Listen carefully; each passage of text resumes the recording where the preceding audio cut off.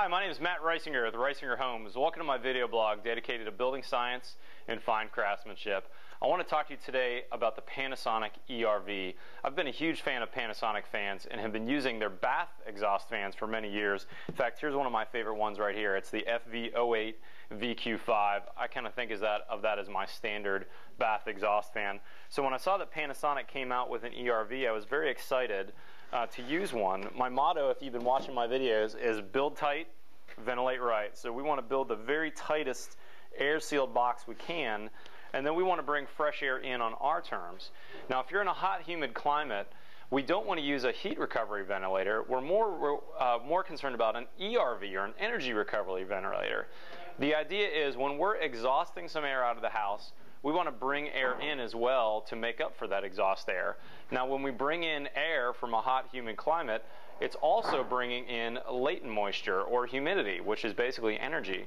So the idea behind this Panasonic ERV is that this is going to have an exchange of air between the outside and the inside. Here's the actual unit right here. So there's two uh, little four inch ducts right here. This can run at 40 CFM or 20 CFM.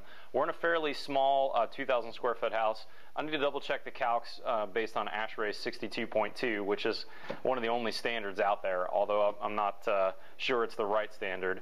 So we'll probably end up setting this house at 20 CFM, meaning we'll have 20 CFM exhausted and we'll have 20 CFM coming in. And here's the cool thing right here. Here's the enthalpy core right here where the airstreams mix it's actually moving some moisture between those airstreams. If you read the Panasonic literature, it says that this, uh, this unit is about 36% effective in uh, moving the moisture between those two airstreams. So it's not perfect, but it should help reduce the amount of humidity that's coming in on the fresh airstream. A couple things to, uh, to know. Number one, it's very efficient. This unit is meant to run all the time. It's got DC motors in it. It's running at 23 watts, so fairly low wattage, but there is a little bit of power consumption. Other thing to notice, it's pretty large. Here's the grill for this thing. And you need to mount it in a spot where you can get to it because it, need to, it needs to be cleaned. There's a filter system in here that needs to be cleaned about monthly.